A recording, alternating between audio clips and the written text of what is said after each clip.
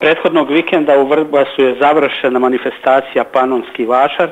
u okviru koga se održava festival dečjeg izvornog stvaralaštva, 41. po redu festival folklornih tradicija Vojvodine, zatim izložbe starih zanata, starih jela i svake godine predstavimo jednu nacionalnu zajednicu, ove godine su to bili e, prekodjerinski Srbi. Od ove godine smo uveli i još jednu, e, jedan sadržaj u ovoj festival, a to je e,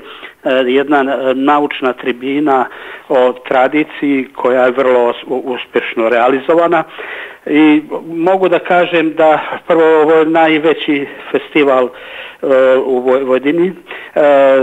na njemu je učestvovalo blizu 100 blizu 100 grupa i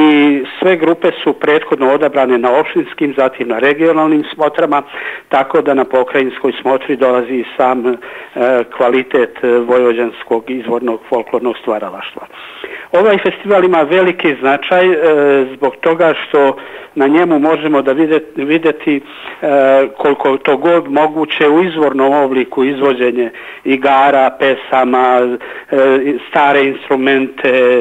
stari način solo pevanja i tako dalje, tako da da ovaj, ovaj festival je rasadnik e, za E, buduće čak i etnomuzikologe koji mogu da dođu ovde i da ovaj, istražuju i da